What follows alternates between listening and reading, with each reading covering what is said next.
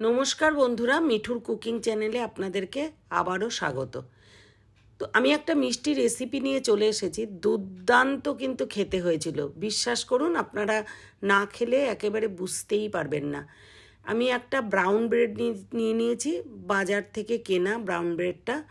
এবারে ব্রেডগুলোকে আমি piece piece করে কেটে নেব। পুরো সাইডে চারপাশে যেই ডিপ ব্রাউন যে পার্টটা থাকে, শক্ত মতন, ওটাকে কেটে বাদ দিয়ে দিয়েছি। দিয়ে দু টুকরো করে করে নিয়েছি। পুরো পাউরুটিগুলো কিন্তু আমি এরকমভাবে কেটে নিয়েছি।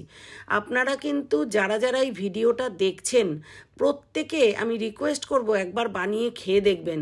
অপূর্ব, বলতে বাধ্য হবেন যে দারুণ হয়েছে। যারা এখনও পর্যন্ত এটা বানিয়ে খাননি।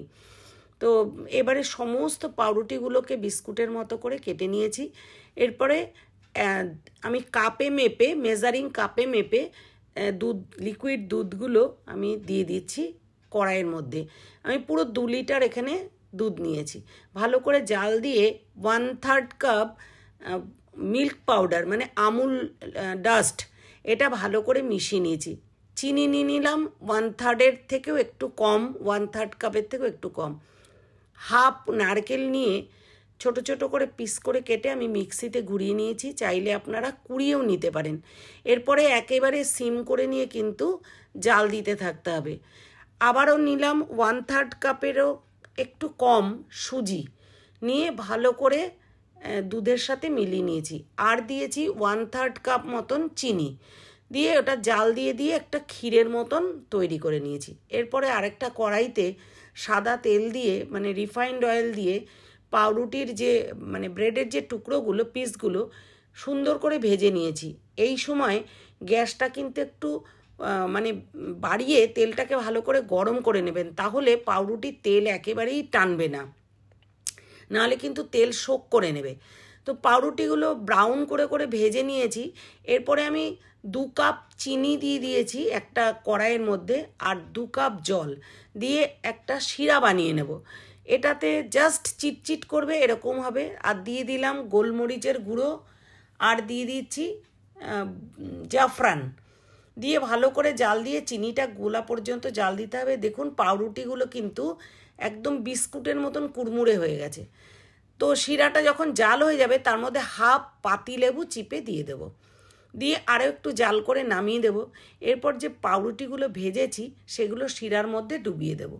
দিলে পরে কিছুক্ষণ মানে মিনিট দুই তিন রাখলে কিন্তু বেশ শিরাটা শোক করে নেবে, তারপরে তুলে নিতে হবে। সমস্ত ব্রেডগুলো আমি কিন্তু শিরায় ডুবিয়ে আবারও তুলে নিয়েছি। যখন তুলবেন, তখন একটু মানে জাস্ট ঝেড়ে ঝেড়ে তুলবেন। কারণ তার, তারপরে তাহলে কী হবে? ওই যে শিরাগুলো ছিল না, সেগুলো জাস্ট যতটা এক্সট্রা ছিল সেগুলো বেরিয়ে যাবে। সমস্ত পাউরুটিগুলো শিরায় ভেজানোর পর আমি তুলে নিয়েছি একটা প্লেটে। এরপর দেখুন, একটা একটা করে সাজিয়ে নিয়েছি। নেওয়ার পরে আমি যে ক্ষীরটা বানিয়েছিলাম, সেই ক্ষীরটা এবার চামচ করে ওই ব্রেডটার মধ্যে দেব। আপনারা হাত দিয়েও দিতে পারেন যেভাবে আপনাদের খুশি, এইভাবে মাঝখানে পুরটা দিয়ে ওপর থেকে আরেকটা ব্রেড চাপা দিয়ে দেবো। ব্যাস, আমার মিষ্টি রান্নাটা একেবারেই রেডি দুর্দান্ত স্বাদের খেতে হয়েছে, কথা দিলাম, আপনারা খুশি হবেনই এরকমভাবে বানিয়ে খেয়ে। আর যারা যারা এখনও পর্যন্ত চ্যানেলটা সাবস্ক্রাইব করেননি প্লিজ সাবস্ক্রাইব করে বেল আইকনটা প্রেস করবেন এবং পাশে থাকবেন, আমাকে নতুন ভিডিও আপলোড করবার জন্য মোটিভেশন দেবেন।